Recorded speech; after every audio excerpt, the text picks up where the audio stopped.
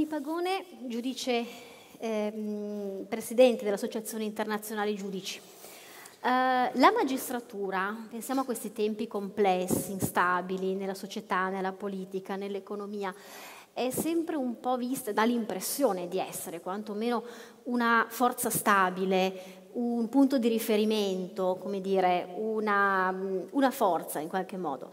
È davvero così?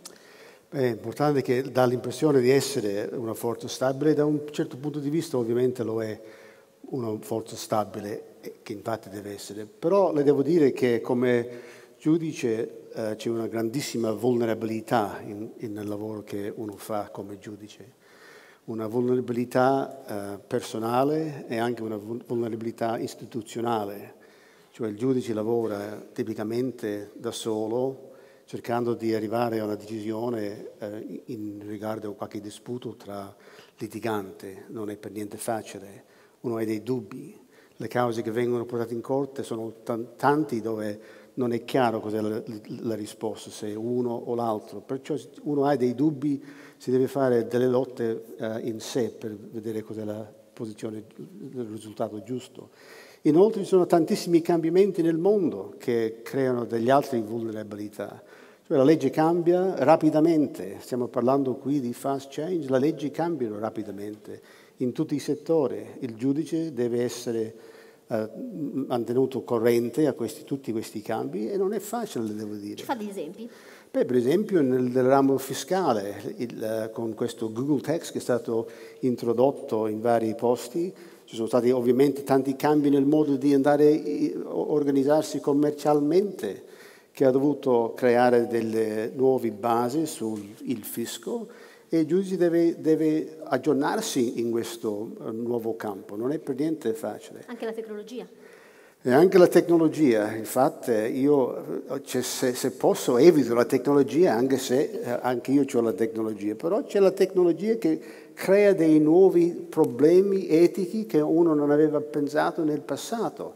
Per esempio Facebook, se uno pensa soltanto alle cose che uno mette su Facebook, eh, e poi pensa delle probabilità, delle possibilità che quello che uno mette incoscientemente eh, sul Facebook viene poi eh, essere usato in un qualche modo contro eh, l'intento di quello che aveva fatto. Cioè, la cosa è complicata. È importante l'indipendenza della magistratura in un mondo che cambia così rapidamente? Io direi che l'indipendenza della magistratura è molto più importante, dato che stiamo facendo questi grandissimi cambiamenti. Infatti tutto questo che noi stiamo parlando del fast change, del cambiamento rapido, è possibile in parte perché abbiamo leggi che sono prevedibili. Quando uno fa qualche passo è importante che si può prevedere quello che si fa ed è importante che se c'è qualche disputo tra le, le parti che uno va da un giudice e il giudice darà una decisione indipendente dalla volontà umana. Perciò questi fast change da, una, da, un punto di vista sono soltanto possibili se c'è una magistratura indipendente che applica delle leggi che sono obiettivi e applicano per tutti quanti. Ecco, indipendenza, legalità rischiano però di essere concetti astratti, perché poi alla fine i giudici sono persone, sono uomini, sono esseri umani. Come si combattono i pregiudizi? Beh, pregiudizi sono di vari tipi, ci sono pregiudizi e pregiudizi. Per esempio uno può avere pregiudizi banali, come qualcuno che tifa per, diciamo, non so, lo Juventus invece del Milan o qualche cosa così ci sono altri pregiudizi però che sono più eh, importanti, più difficili, più problematici, per esempio i pregiudizi in riguardo al sessismo, al razzismo, e questi pregiudizi sono pregiudizi che uno deve scontare in qualche modo, deve levare fuori dal conto che uno fa quando fa la decisione. Questi pregiudizi uno le sconta in gran parte eh, insistendo che ci siano decisioni fatte dai giudici, riferendosi a, obiet- a leggi obiettivi che esistono fuori dal, eh, dal giudice e, e, perciò da, quei tipi di pregiudizi vengono tolte in, in gran parte perché uno deve dare ragione, motivazione, giustificazione riferendosi alle leggi obiettivi e non il, la volontà personale. Però devo dire che ci sono un'altra serie di pregiudizi che sono molto più sottili e molto più difficili. C'è adesso un grandissimo studio eh, in, nel campo della psicologia cognitiva che eh, studia dei pregiudizi che uno ha senza sapere che uno le ha. Per dare un esempio, diciamo banale però reale, se eh, una norma contempla che ci sia diciamo, una sentenza basata su un, una misura di mesi invece una misura di anni, per esempio 36 mesi invece di 6, eh, 3 anni, il tempo è uguale, ma sempre che il giudice quando deve imporre una sentenza riferendosi a mesi, impone sentenze più basse di quelli che vengono imposti se uno le mette su periodi di anni. Un pregiudizio si può vedere, si può eh, calcolare, purtroppo esiste e ce ne sono tantissimi. Tra l'altro questo è un pregiudizio che uno vede anche quando va a fare il shopping. Se uno va al negozio e vede, non so, un tappeto turchese eh, che è scontato da 1000 euro a 50, uno dice che grande affare.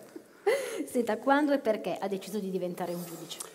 Beh, allora, nel sistema mio in Australia uno non ha la scelta di fare la carriera di giudice sin da finire la scuola, cioè l'università. Eh, da noi uno viene chiesto, eh, viene essere nominato dal governo, normalmente a quelli che succede a una certa età, eh, dalle, dalle volte verso gli anni 50, infatti io ero 40 qualcosa, però a quel periodo. E io avevo fatto una, diciamo, una, bella carriera principalmente nel ramo del fisco, uh, i ragazzi si erano cresciuti, li avevo portati su scuola, eccetera. Perciò per me c'era due motivi principali per, perché avevo accettato la proposta di diventare giudice quando mi è stato chiesto. In parte, diciamo, filosofica. Uh, era, avevo avuto questa buona esperienza e mi sembrava il tempo di dare dietro qualche cosa alla comunità, cioè che era una buona cosa da fare. Da, di essere giudice vuol dire fare decisione, eh, portare avanti la, le, la, le, regole della comunità e che era una cosa buona da fare. L'altro punto di vista era personale, nel senso che era interessante. Il lavoro del giudice indubbiamente è interessante. Le cause che uno aveva erano interessanti, eh, occupava la mente e di fatti mi ha portato, tra l'altro, anche qui. Raccogliere una sfida, insomma, darsi sempre degli obiettivi. Senta, le chiedo ancora questo, come vive la responsabilità di prendere delle decisioni che poi hanno effetti dirompenti magari definitivi sulla vita delle persone? Beh, eh, ovviamente parlo soltanto per me, ma penso che quello che dico eh, va giusto anche per tantissimi dei miei colleghi. Io l'ho sempre considerato come un grande peso avendo una, la responsabilità di fare delle decisioni avendo effetti, reali effetti uh, sulle persone. Uh, era un peso che per me uh, occupava molto tempo, molto pensiero. un peso però che veniva allevato in parte, pensando, come era il caso, che applicavo delle leggi che erano, esistevano al di fuori di me, cioè legge che non avevo creato io, legge create dagli, dagli altri, ta, qualche volta anche leggi che non mi piacevano, però dovevo applicarle perché quello era la legge.